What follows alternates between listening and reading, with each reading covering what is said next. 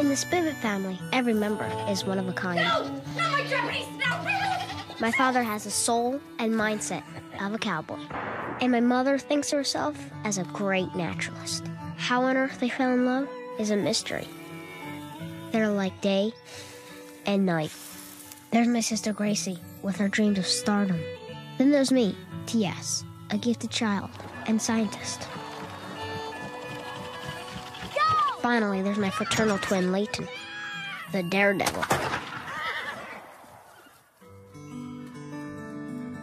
T.S. Spivet, your invention has won our prestigious Baird Award. Wow. They think I'm an adult. This trip scares me, but that's that. I'm leaving tomorrow for Washington, D.C.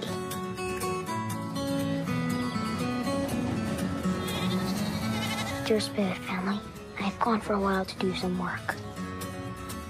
Don't worry, I'll be fine.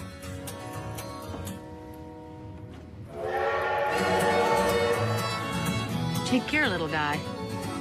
Hey! Hello, T.S. Not sure what you're looking for, but don't change a thing. Steady in your boots. Good luck, man. I'm sorry for what I did. No one talks about it. It